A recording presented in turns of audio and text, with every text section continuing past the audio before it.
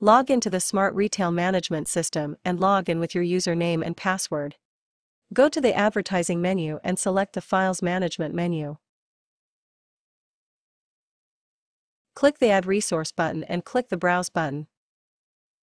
Press the Browse button to select the AD file you want to run. Please note that the video file must be in MP4 format and less than 100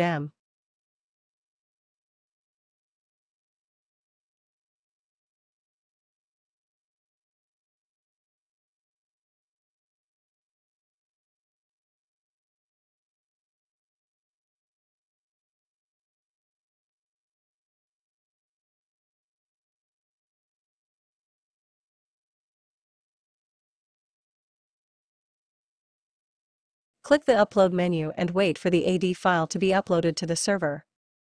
At this time, you must see the result of upload successfully.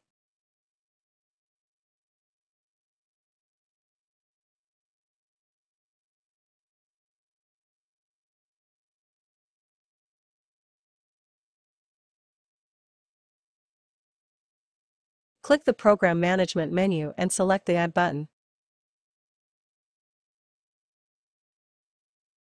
Enter your name and program name.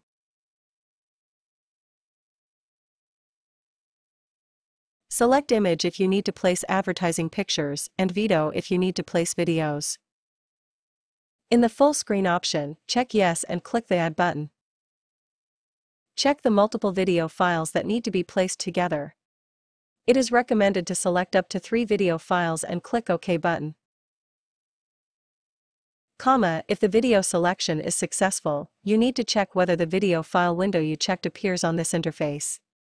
If no video interface window appears, you need to perform the previous step again.